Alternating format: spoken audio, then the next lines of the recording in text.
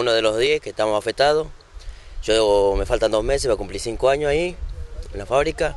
Creo que de los cinco años yo nunca falté, ni por parte enfermo, ni por parte nada. Nunca llegué tarde, no tienen ni un motivo para echarme. Hay gente que tiene, que llegó tarde, que tiene motivo, ¿por qué a nosotros nos toca? ¿Vos por qué crees, eh, crees que ocurrió entonces? ¿Por qué lo despidieron a ustedes?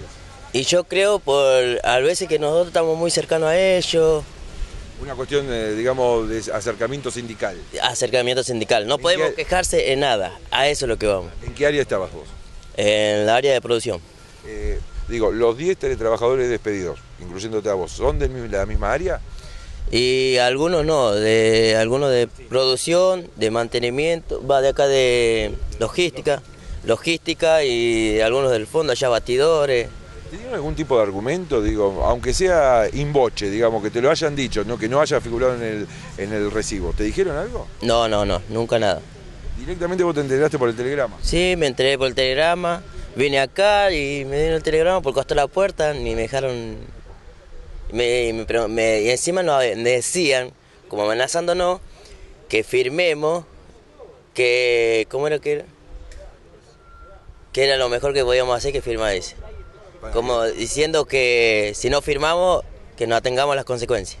Eh, ¿Vos sos de acá de Rodríguez? Yo soy de acá de Rodríguez, ¿Tenés familia? tengo familia, tengo dos hijos, mi mujer. La desesperación debe ser terrible, digo, Terrible, Estoy porque... haciendo mi casa, estoy alquilando. ¿Cómo es esto? ¿Posible? Dígame usted.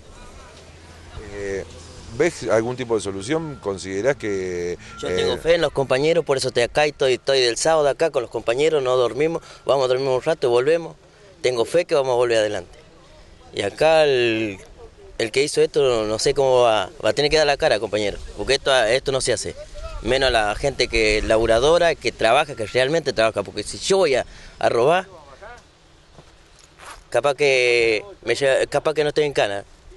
Pero acá, yo buscando para mis hijos, por la legal, como tiene que ser, y nos tiran toda la calle. Encima nos amenazan. ¿Qué es esto?